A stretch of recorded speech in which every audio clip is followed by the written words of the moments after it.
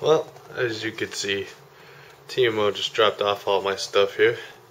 Uh, aside from the bike, I just bought that.